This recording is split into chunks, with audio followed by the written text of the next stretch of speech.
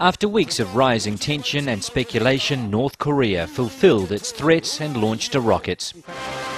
The secretive nation insists its aim was to send a communication satellite into orbit in a peaceful bid to develop a space program. But many nations fear Pyongyang is testing its long range missile technology, and the launch violates UN sanctions which specifically prohibit the testing of ballistic weapons.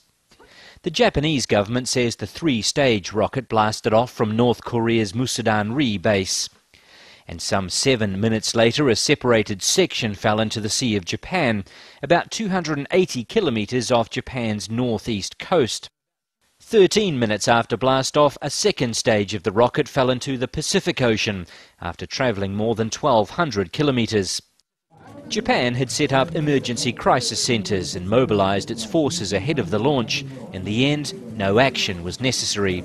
入手後直ちに we feel that it's very unfortunate that North Korea has gone ahead with the launch and we formally denounce it. We have no reports of any damage done. It has flown over Japan, so no orders have been issued to intercept or destroy the projectile. North Korea says the launch was a success and claims it now has an experimental communications satellite in orbit. However, the US military backed up claims by South Korea's presidential Blue House that the satellite had failed to make it to space.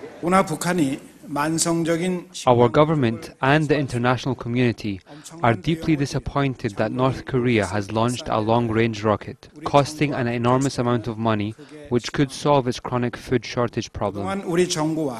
South Koreans have long lived with their antagonistic northern neighbour, and aside from a small street protest, they seem to take news of the launch in their stride.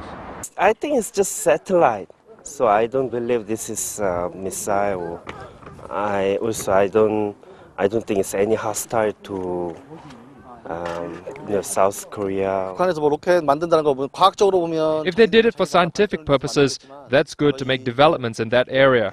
And as a father, I hope for unification in the very near future.